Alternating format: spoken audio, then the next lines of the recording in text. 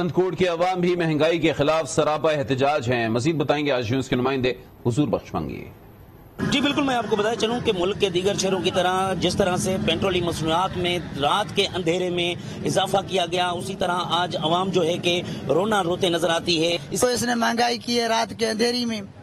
पहली तारीख के हर उसूल होता है कि हर माह की पहली पंद्रह को जो बढ़ाना है बढ़ाए। लेकिन उसने ये डाका डाला है दिन ब दिन जो है महँगाई बढ़ती जा रही है।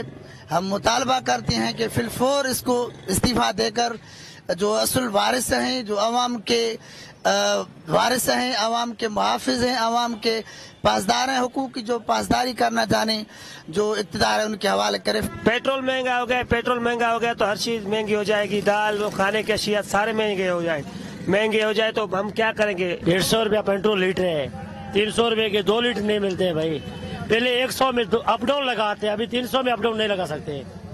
यही मसला है तमाम का कहना है कि इमरान खान साहब को चाहिए कि अब आपसे मुल्क नहीं चलेगा और आप इस्तीफा खुद दे जाएँ वरना इस आवाम पर जिस तरह से आपने महँगाई का बोझ डाला है और दिन ब दिन तेल की कीमतों में इजाफा हो रहा है तो हर चीज़ महँगी हो रही है। आवाम की दुहाइयाँ हैं। जी।